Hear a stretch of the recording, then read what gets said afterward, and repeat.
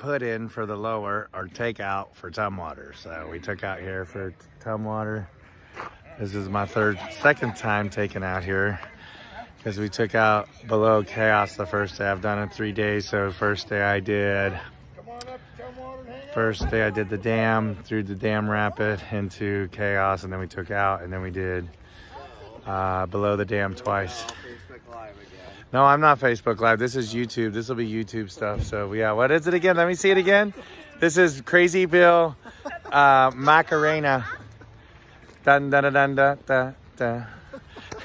I love it. Class two plop and drop.